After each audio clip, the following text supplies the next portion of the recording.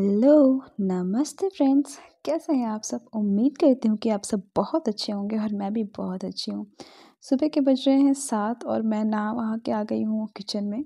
बस यहाँ पे मैं बेटू के लिए उसका दूध तैयार कर रही हूँ, जो मैंने बादाम का दूध आपके, आपको पिछली वीडियो में दिखाया था ना? बस वही वाला दूध मैं उसे तैयार कर रही हूँ। उसे मैं हर रोज़ सुबह वो दूध ज़रूर देती हूँ और अगर किसी वजह से अगर नहीं दे पाती हूँ तो हाँ शाम को मैं ज़रूर दे देती हूँ वो दूध। ठंड में उसे वो बहुत रिलीव करता है। और बच्चों के लिए आई थिंक ये ड्रिंक रात में ज़्यादा बेटर होता है। पर अगर टाइम ना हो तो आप दिन में एक बार उसे ज़रूर दीजिए। और बस यहाँ पे मेरी दाल मेरा हो गया है। और मैं अब खाना वाना बना करके आज आपके संग कुछ ऐसी ट्रिक्स शेयर करने वाली हूँ। जो आपके पास अगर फटे पुराने जीन्स हो या कुछ भी ऐसी चीज़ें हों तो बस उसी से आप उसे बना सकते हैं। और देखने में वो इतनी सुंदर लगेगी। आप चाहे तो उसे किसी और कपड़े से बना सकते हैं, बट हाँ वो जीन्स वगैरह थोड़ी सी टाइट सी बनेगी और इतनी फ्लफ़ी बनेगी ना। आप सोच रहे होंगे जीन्स और फ्लफ़ी। हाँ तो जीन्स है, बट जीन्स के साथ हम कुछ ऐसी चीज़ें यूज़ करेंगे ना, जिससे बहुत ही सॉफ्ट बनेगी। और यहाँ हम लोग चाय पीने जा रहे हैं और ये देखिए जनाब, इन्हें आलू इतना ज़्यादा पसंद है कि हम कह रहे हैं कि गर्म है, लेकिन वो सुन नहीं रहा है और उसे गर्म आलू ही खानी है। और देखिए अभी गर्म आलू खाने के बाद उसका चेहरा देखिए कैसा बन रहा है। ये देखिए।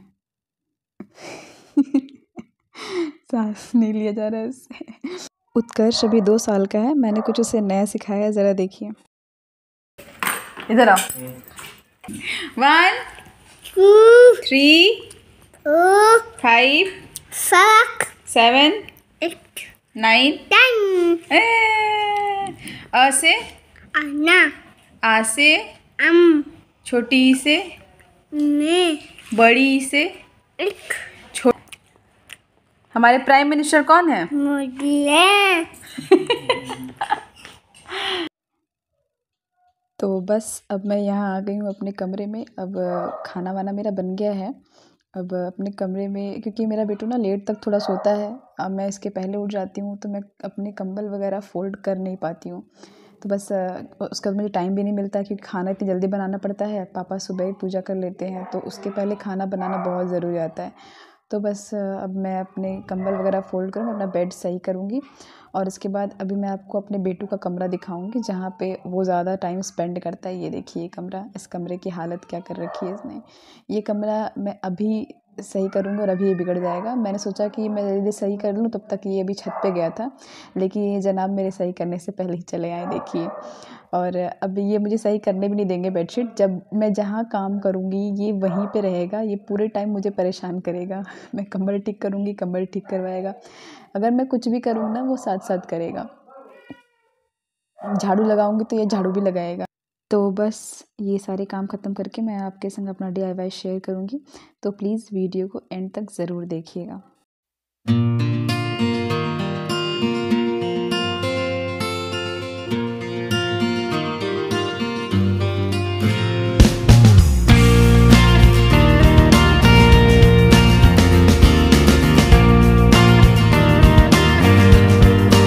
फ्रेंड्स यहाँ पे ना पापा बाहर खड़े थे तो इसके लिए मुझे दुपट्टा लेना पड़ा। तो अब जल्दी से लेना था तो कोई दुपट्टा मिल नहीं रहा था। सामने जो दुपट्टा दिखा मुझे मैंने वही ले लिया। ये बिल्कुल शॉल की तरह लग रहा है। बट ठीक है, पापा हैं तो लेना ही पड़ेगा। तो अब यहाँ मैं आ गई हूँ। मैंने आपसे जो कहा था DIY शेयर करने के लिए, ये मेरे पास पुरानी पैंट है। ये पैंट काफ़ी ज़्यादा ख़राब हो चुकी है। जगह जगह से भी ख़राब हो गई है। मतलब इसके ना रोए टाइप के होते हैं ना, रोए टाइप के इसके छूट गए जो पीछे नॉइज़ आ रही है ना, उसे थोड़ा सा इग्नोर करिएगा। यहाँ पे मैंने पैंट को ले लिया। इस पैंट का कलर भी ना थोड़ा सा फेड हो गया था। तो ये पहनने के लायक नहीं था। तो मैंने इसे बस कट कर लिया है। अदरवाइज़ मैं ज़्यादातर मैं कपड़े बर्बाद करती नहीं हूँ। मैं उसे किसी को डोनेट कर देती हूँ। पर ये बिल्कुल भी नहीं पहनने के लायक था किसी के। इसके लिए मैंने इसे कट कर लिया है। तो बस यहाँ पे मैंने इसको, इसे अपने साइज़ के अकॉर्डिंग कट कर लिया, जितना बड़ा मुझे पायदान चाहिए। और इसका आप या तो पायदान बना सकते हैं या फिर किसी टेबल के लिए जो होता है ना क्लॉथ वो बना सकते हैं। या फिर आप कोई ऐसा गद्दा टाइप का चाहिए जो आपको, वो भी आप बना सकते हैं। और अभी ये बहुत दिखने में सुंदर लगेगा, आप कहीं भी रखेंगे तो ये बहुत अच्छा लगेगा। तो बस इसे मुझे जैसा चाहिए था, मैंने उसे स्केल के नाप से चौक से लेकर के मैंने उसे कट कर लिया है। ये हिस्सा थोड़ा ज़्यादा था, इसे मैं कट कर रही हूँ और इसके बाद ये देखिए बिल्कुल अब बराबर हो गया है। तो बस इसी तरीके से मैं इस तरह के दो भाग कट करूँगी।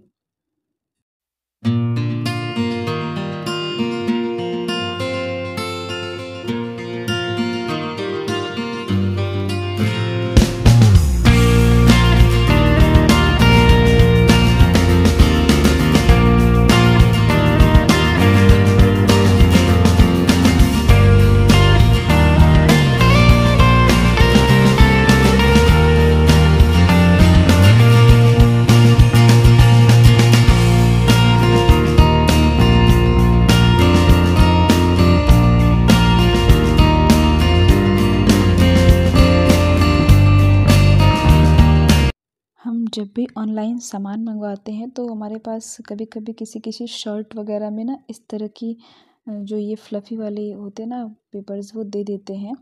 या फिर कभी कभी ये हमारे पास घर में होता है पड़ा किसी सोफ़े वगैरह में, ये मेरे मेरा जो पुराना सोफ़ा था ना, उसमें से निकला था तो मैंने इसे रखा हुआ था। यहाँ पे आप यूज़ कर सकते हैं जो फ्लिपकार्ट में जो प्लास्टिक के जो बॉल बॉल टाइप्स के होते हैं ना, वो आप यहाँ उसका भी यूज़ कर सकते हैं।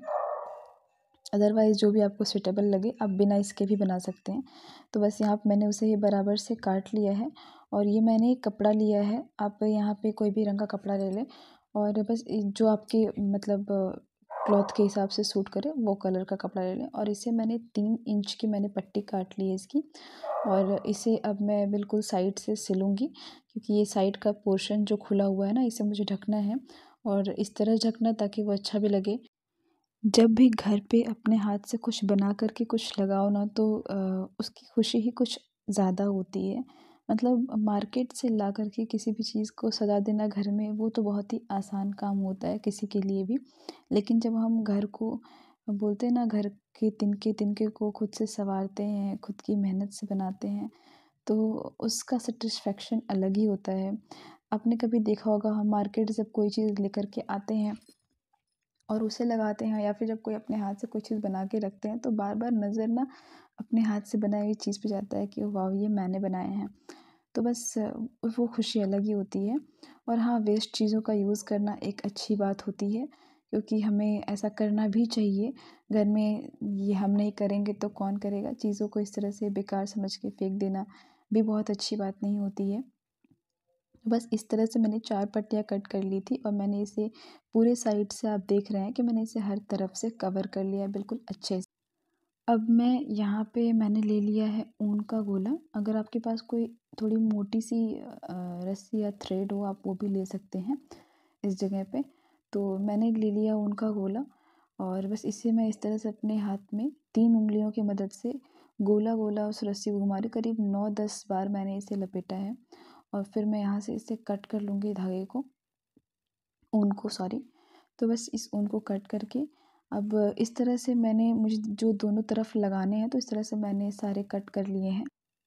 करीब मैंने दस गोले इस तरह से कट किए थे। अब यहाँ पे मैं ऊन को अपने हाथ में ले लूँगी और इसके एंड का जो पोर्शन है, वहाँ से करीब आधा इंच के करीब छोड़ करके और सेम उसी धागे से मैं उसके मुँह के पास बिल्कुल इस तरह से बाँध लूँगी। एक नॉट दीजिए, वैसे मैंने इधर दो नॉट भी दिए थे क्योंकि थोड़ा दो नॉट्स थोड़ा सेफ़ हो जाता है कि वो खुलेगा नहीं। तो मैंने यहाँ पे दो नॉट्स दिए थे और बस इस तरह से जो अब ये जो अगला वाला जो एंड है ना, इस एंड के पास हम अपने सीज़र से इसे कट कर लेंगे बिल्कुल और बिल्कुल बराबर सा कट करेंगे ताकि नीचे देखने में बिल्कुल फूल की तरह होता है ना, उस तरह से दिखने लगे और बस इस तरह से मैंने ढेर सारा बना करके रेडी कर लिए करीब मैंने ट्वेंटी रेडी करे थे बना के, मुझे दोनों तरफ़ लगाने थे। अगर आपको हर तरफ़ लगाने हैं तो आप थोड़ा और ज़्यादा बनाइए। और अगर बिगिनर्स को नहीं आता तो यहाँ पे मैंने इस तरह से दिखाया कि यहाँ पे डॉट्स लगा लिया मैंने निशान।